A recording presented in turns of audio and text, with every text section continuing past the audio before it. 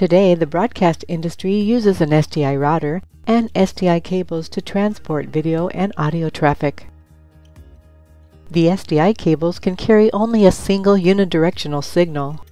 As a result, a large number of cables, frequently stretched over long distances, are required, making it difficult and time-consuming to expand or change an SDI-based infrastructure. Cisco's IP Fabric for Media Solution replaces the SDI router in live production studios. In an IP-based infrastructure, a single cable has the capacity to carry multiple bidirectional traffic flows and can support different flow sizes without requiring changes to the physical infrastructure.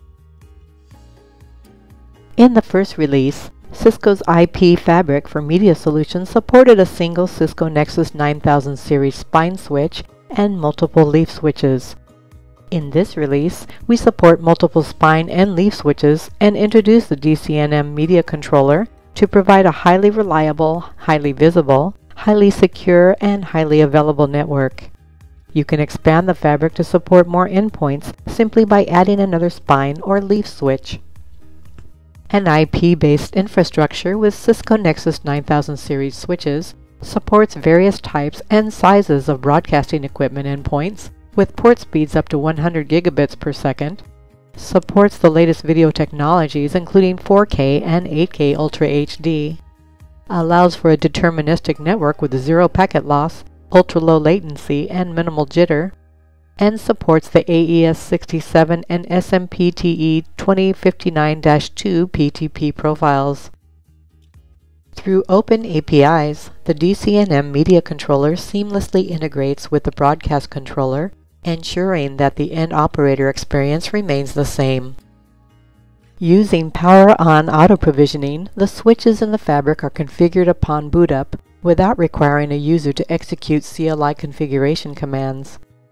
POAP provides a quick and easy way to configure the fabric and is less prone to errors that might be introduced by manually provisioning the switches.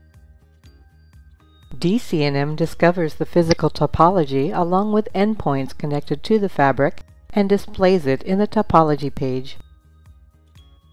Using host policies, you can restrict the traffic that a sender can transmit or to which a receiver can subscribe. Flow policies are used to provision flow size along with QoS marking for a flow. It helps ensure sufficient bandwidth is provisioned in the network and also ensures that an endpoint does not transmit a flow at a rate higher than what has been configured in the policy. One of the broadcast industry's primary requirements is flow visibility.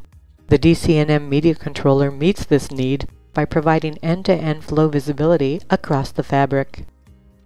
Using Flow Analytics, the DCNM media controller measures and stores bit rates and displays the details for individual traffic flows. Cisco's IP Fabric for Media Solutions supports a highly scalable, highly reliable, highly visible, highly secure, and highly available IP network. For more information, please see the Cisco Nexus 9000 series NXOS IP Fabric for Media Solution Guide, Release 7.0 3 I45.